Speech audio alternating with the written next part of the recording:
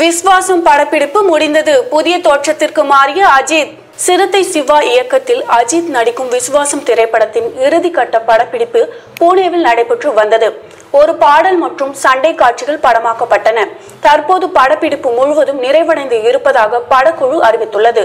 அடர் தாடியுடன் இருந்த Ajith clean shave செய்து புதிய மனிதராய் இருக்கிறார் அந்த புகைப்படம் தற்போது வைரலாகி வருகிறது. சிறுத்தை சிவா அஜித் கூட்டணியில் உருவாகும் நான்காவது படம் விசுவாசம் அஜித் இரண்டு வேடங்களில் நடிக்கும் இப்படத்தில் அவருக்கு ஜோடியாக நயன்தாரா நடித்துள்ளார். தம்பி ராமையா ரோபோ சங்கர் ரமேஷ் திலக் யோகி பாபு மற்றும் பலர் நடித்துள்ளனர்.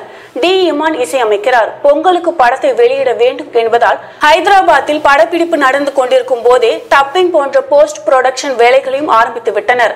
தற்போது இறுதி கட்ட காட்சி வேலைகளும் நிறைவடைந்து முழு வீச்சில் ரிலீஸுக்கு தயாராகி வருகிறது.